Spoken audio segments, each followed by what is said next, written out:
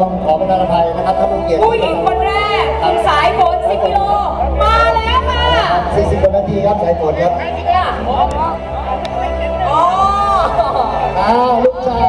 ลูกชายที่พูดนะคะมีการชี้ให้ดูด้วยลูกชายขอบคุณค่ะต้องถือป้ายไฟมาด้วยนะ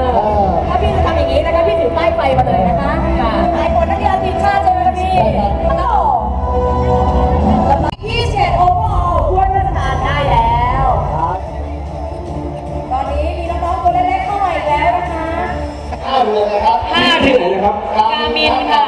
อ๋อไม่แค่สามเรือนโอ้ยต้องรีบไปอะอ่าเพราะว่าถ้าคนให้ราคามาแล้วสามเรือนอันนี้ก่อนนะครับ อันดับสองนะครับ เด็กชายศิวโรธโลเจริญรัตน์ครับ จากสังกัดรักพ่อรักแม่นค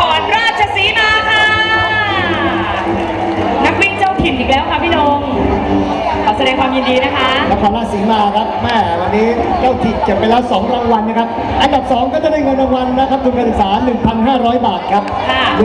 1,500 บาท โอเคค่ะแต่ป้ายใหญ่กว่าตัวเด็กนะและที่ 3 ก็เป็นนักวิ่งเจ้าถิ่นอีกแล้วโอ้ค่ะจากสังกัดปุงตาหลวงนครราชสีมา กับเด็กชายสาพรจัดสนามครับ